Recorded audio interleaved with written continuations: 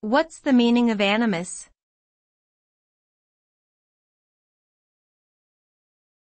Animus.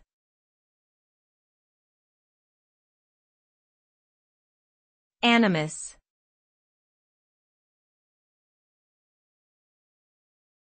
Animus.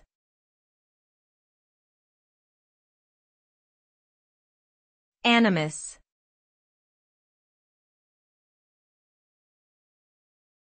Animus.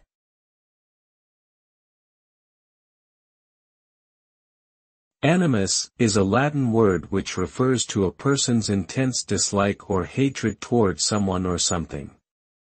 It can also refer to a strong feeling of opposition or hostility towards an idea or belief. It is often associated with an aggressive and vindictive attitude. When someone has an animus towards another person, it can lead to conflict and tension between them. It is important to recognize and address one's animus in order to promote healthy relationships and avoid unnecessary strife.